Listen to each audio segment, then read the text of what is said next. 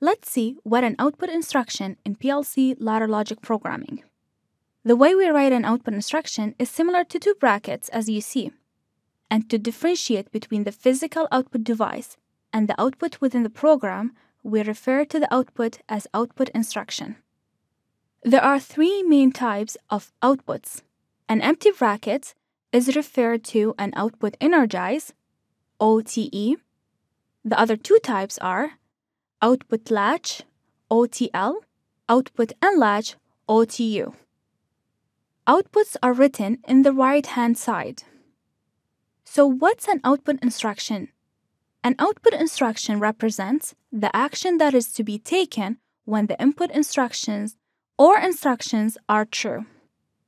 Basically, when the rung is true, the output is activated as a result.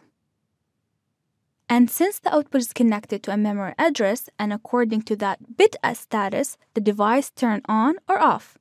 The physical output device is connected to the output module of the PLC and work accordingly.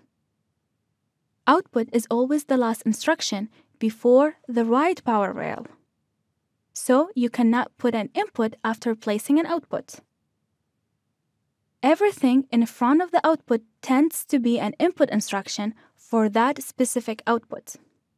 Please keep in mind, not all outputs are connected to physical devices.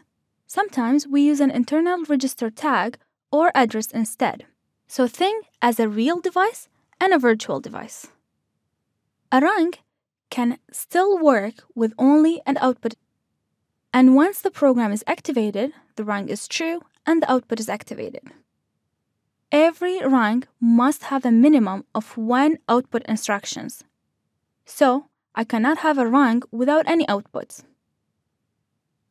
Only use a particular output one time in your program. So if you have two switches to turn on the same light, then use the particular output one time in your program. If you have multiple outputs associated with the same input, then put them in parallel. Multiple outputs are preferred to programmed in parallel.